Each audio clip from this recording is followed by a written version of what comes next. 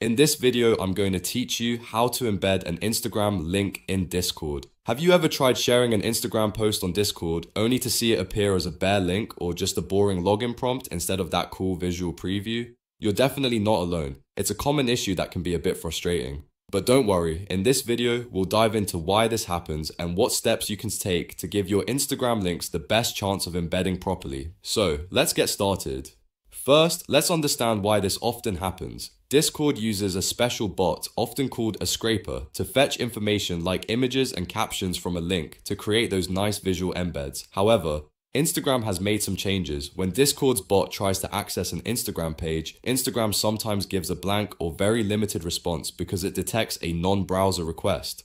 This means Discord can't get the details it needs, leading to a broken or minimal embed, or sometimes just a prompt to log into Instagram.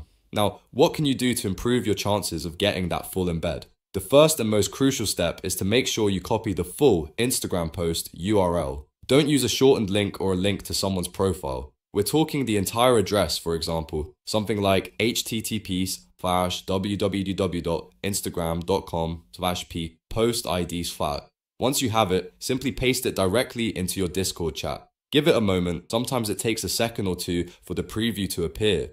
Next, you need to verify that embed previews are actually enabled in that specific Discord server or channel. Server administrators can sometimes turn off link preview settings, which will prevent any embeds from showing up, no matter what link you post. Another thing to try is viewing from the desktop version of Discord or the web app. Occasionally, embeds can behave a little differently on the mobile app compared to the desktop client. Finally, if a link you know should embed isn't working, try clearing your Discord cache and restarting the application. Sometimes stale data or minor app glitches can interfere with the embedding process. While these steps will significantly improve your chances, it's important to remember that if Instagram is actively blocking Discord's bot from scraping, it might be out of your control. If this video helped you get those Instagram embeds working, please give it a thumbs up, leave a comment if you have any questions, and don't forget to subscribe for more useful tech tutorials like this one. Thanks for watching.